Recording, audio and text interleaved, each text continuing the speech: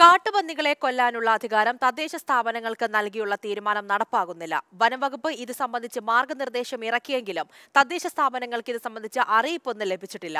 ഇതോടെ തദ്ദേശ സ്ഥാപനങ്ങളുടെ അധ്യക്ഷന്മാർ വീട്ടിലായിരിക്കുകയാണ്. ജനവാസ മേഖലകളിൽ ജീവനും സ്വത്തിനും നാശം വരുത്തുന്ന കാട്ടുപന്നിയെ വെടിവെച്ചു കൊല്ലാൻ panchayat president municipality chairman corporation mayor എന്നിവർക്ക് അനുമതി നൽകിക്കൊണ്ടാണ് വനംവകുപ്പ് ഉത്തരവിറക്കിയത്. തദ്ദേശ സ്ഥാപനങ്ങളുടെ തലവന്മാരെ ഓണററി വൈൽഡ് ലൈഫ് വാർഡനായി നിശ്ചയിച്ചുകൊണ്ടായിരുന്നു ഉത്തരവ്. എന്നാൽ ഇതുവരെ ഒരു തദ്ദേശ സ്ഥാപനങ്ങളുടെയും അധ്യക്ഷന്മാരും പന്നിയെ വെടിവെക്കാൻ അനുമതി നൽകിയിട്ടില്ല. ഔദ്യോഗികമായി തദ്ദേശ സ്ഥാപനങ്ങൾക്ക് ഇത് സംബന്ധിച്ച നിർദ്ദേശം ലഭിച്ചിട്ടില്ല എന്നതാണ് ഇതിന് കാരണം. എന്നാൽ തദ്ദേശ സ്ഥാപനങ്ങൾക്ക് അധികാരം ലഭിച്ചു എന്ന വാർത്തയുടെ അടിസ്ഥാനത്തിൽ നിരവധി പേരാണ് അനുമതിക്കായി അധ്യക്ഷന്മാരെ സമീപിക്കുന്നത്. കാട്ടുപന്നിയെ വെടിവെക്കാമെന്ന് സർക്കാർ ഉത്തരവ് ഉടൻ ഉണ്ടാവുമെന്ന് അറിയിച്ചിരുന്നു. നമുക്കും വാർത്താമാധ്യമങ്ങളിൽ കൂടിയുള്ള അറിവ് മാത്രമേ ഉള്ളൂ. പഞ്ചായത്തിലേക്ക് ഇതുവരെ ഒരു ഉത്തരവോ ഒന്നും എത്തിയിട്ടില്ല.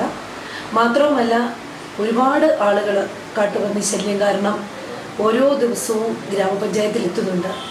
ഞങ്ങൾക്ക് അവരുടെ ആ പരാതിയിൽ ഒരു മറുപടി പോലും പറയാനായിട്ട് സാധിക്കുന്നില്ല.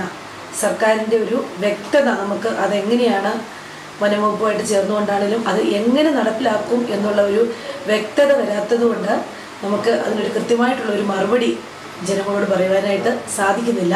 രേഖാമൂലം നിർദ്ദേശം ലഭിക്കാത്തതിനാൽ അനുമതി നൽകിയാൽ കേസിലകപ്പെടുമോ എന്ന ആശങ്ക തദ്ദേശ സ്ഥാപനങ്ങളുടെ തലവന്മാർക്കുണ്ട്.